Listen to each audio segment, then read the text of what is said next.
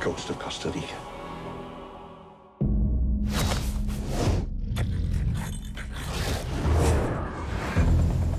I've spent the last five years setting up a kind of biological preserve.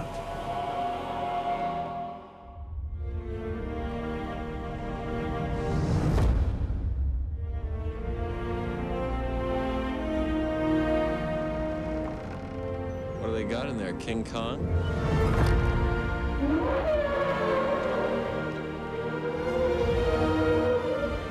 Welcome to Jurassic Park.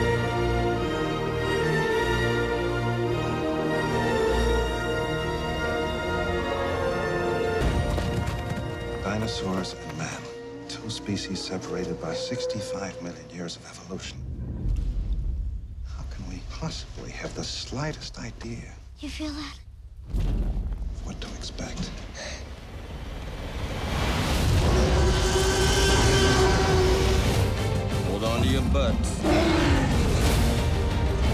All major theme parks had problems.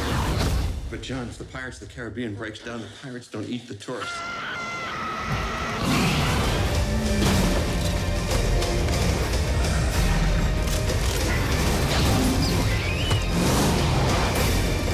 Oh, wolf!